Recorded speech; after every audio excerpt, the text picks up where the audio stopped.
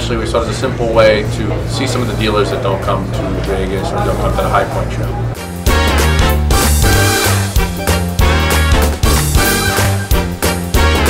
We have consistent traffic at the shows. We open new accounts. So we've been here now at this space for 15 years.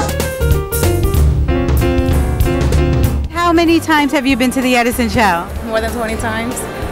I love it because it's closer to home. but I love it. It's always very nice to come here. Simply put, the Edison show gives you obviously the opportunity to make money. A lot of selection, love it. great, great bargain prices.